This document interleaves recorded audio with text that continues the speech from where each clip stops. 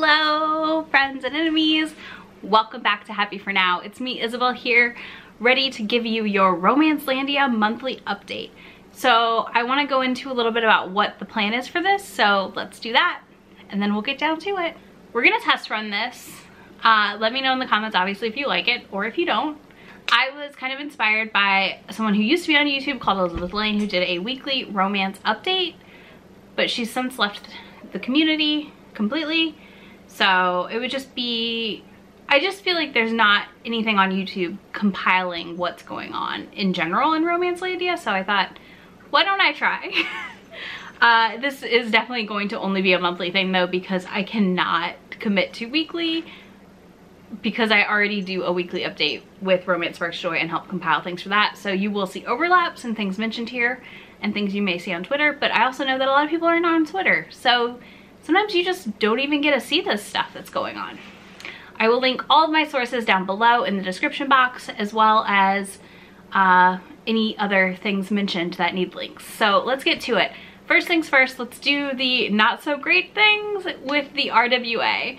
So the biggest thing we've had since my last video on the RWA in December is Damon Suede did resign from the board as president-elect. So that, that happened. Uh, we also had Carol Ritter step down from the organization, so that's another good thing. The Rita Awards were also canceled for this year, which is both sad and good because it's obvious they're training for people to help prevent any bigotry into the awards judging was obviously like not enough. We know that. So them canceling it is a good thing, but I'm also sad because I felt like a lot more underrepresented authors were entering this year because they had a newfound sense of confidence from last year's presentation and the direction that Helen K. Diamond was leading the organization to versus now. Damon Suede has basically been gone off the internet, not to be seen, until two days ago from when I'm filming this on January 28th when he popped up on this comment thread on Facebook. Uh, I'm not going to read it to you, but you can go ahead and check that out. It's very interesting just that he's showing his face and how he's spinning this. The other things that have happened around the RWA this month is that 46 chapter leaders sent a letter for diversity, equity, and inclusion action plan for the RWA to, to take, like to do, um, to ensure these things are done and like are being done right so far no response from that, but there's a lot of big names in there and I think it's a really good move on these chapter leaders parts. Uh, also, we had a lot of publishing houses pull out of the RWA National Conference and that is a bad sign, like a very bad sign. But it's also noted that RWA probably cannot cancel the event without incurring massive fees and that they probably don't have the money for anymore. So the bylaws for RWA require them to have a yearly conference. So that is another reason they also cannot cancel it, but they can cancel like the awards and other things. We do not have a date for the audit yet also and the other thing I want to talk about is the Dreamspinner Press situation. So Dreamspinner Press, uh, this is a big mess that's been going on for a while, have not been paying their authors any of their royalties. Uh, one author I know is owed over $40,000. That's a lot of money to just not be getting and they're still signing new authors. And the RWA was, when the RWA was founded in the 80s, they were founded in part due to category romance authors and their pen names. So part of what the RWA originally fought for was authors' rights and like that's the purpose of this organization.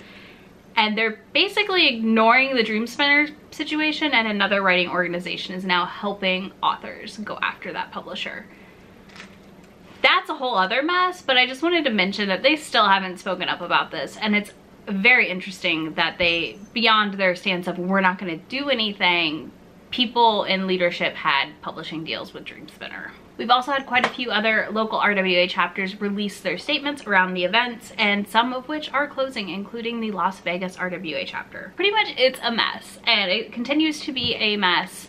I'm hoping, obviously, that we have a good conclusion. I don't even know at this point what a good conclusion for this is, though, which makes it even harder. but that's the RWA update for January. I'm sure I missed stuff. There, like I said, is so much that has happened. I highly recommend you go check out the timeline on Claire Ryan's website. In fun news, Carina Press just announced their LGBTQ plus line and I am so excited for these books. We have The Girl Next Door by Chelsea M. Cameron, The Hideaway Inn by Philip William Stover, Just Like That by Cole McCade. Last but not least, we have Hairpin Curves by Aaliyah Winters.